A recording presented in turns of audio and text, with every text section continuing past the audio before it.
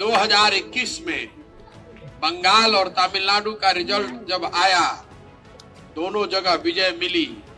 उस दिन मैंने सार्वजनिक तौर पर यह घोषणा की है कि अब जीवन में कभी किसी राजनीतिक दल और नेता के साथ काम नहीं करेंगे।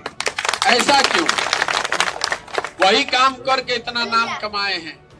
लोग बताते हैं कि बहुत पैसा भी कमाए हैं। तो उस काम को काहे छोड़ दिए?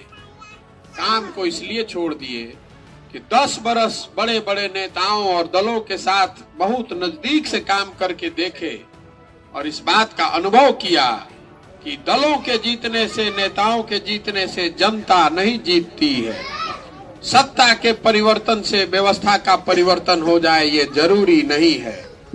तो इसलिए सोचे कि अगर भगवान ने कुछ शक्ति, बुद्धि, क्षमता दी है तो जीवन में कुछ ऐसा करें जिससे सही मायने में जनता की ज़िंदगी बदले इसीलिए उस काम को छोड़ दिए